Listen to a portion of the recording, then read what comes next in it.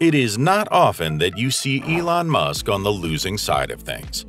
The multi-billionaire is known for his winning mentality and achieving the impossible.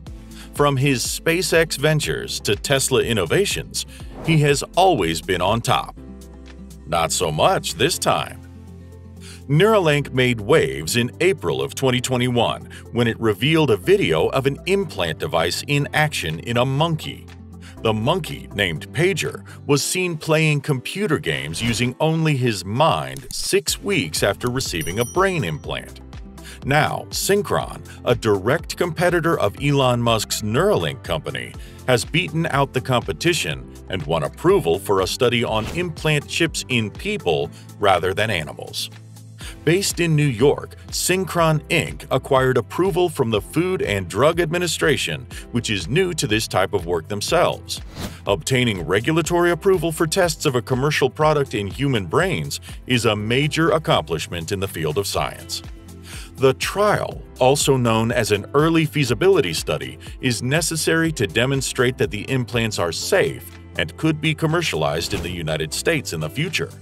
Synchron hopes that its product will allow disabled patients to operate digital devices using their brain, improving their functional independence.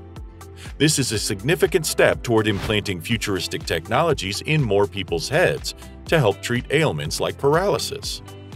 Even before all this, Synchron had successfully conducted a number of experiments on several levels, including a four-patient trial in Australia. Last year, the company conducted a study indicating that the first two patients in the trial were able to use direct thinking to operate their gadgets and text and type. Synchron plans to enroll six people in the U.S. investigation, which is roughly similar to a Phase 2 clinical study for a drug. They will accomplish all of this with the assistance of the Stentrode motor neuroprosthesis, the Stentrode gadget, which is smaller than a matchstick, will be implanted in the brain to allow paralyzed individuals to control digital devices such as computer cursors using their thoughts.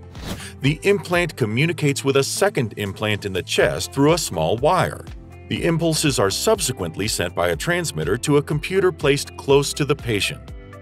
Unlike many other implanted brain-computer interfaces that require brain surgery, the Stentrode device is inserted through a blood vessel in the neck and guided to a vessel in the brain. The patient can use the device immediately after a two-hour minimally invasive operation. The operation is similar to the implantation of stents in the heart. The surgery can be performed in readily available angiography suites, and there are no wires coming out of the body after the gadget is implanted.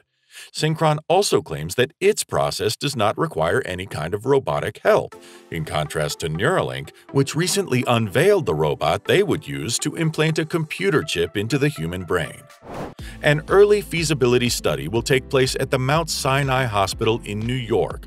The research will look into the safety and efficacy of the company's flagship product, if all goes according to plan, Synchron might move on to the next stage of the lengthy certification procedure and should launch the product in 3 to 5 years.